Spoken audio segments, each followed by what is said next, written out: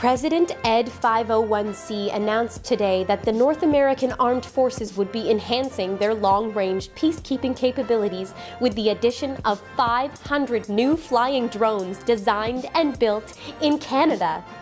According to officials, these robotic aircrafts are identical to existing military drones, except that they are unarmed, and apologize for violating your airspace. Other defensive measures include a Canadian flag patch sewn into the drone's fuselage and a goodwill package of signed Justin Bieber CDs.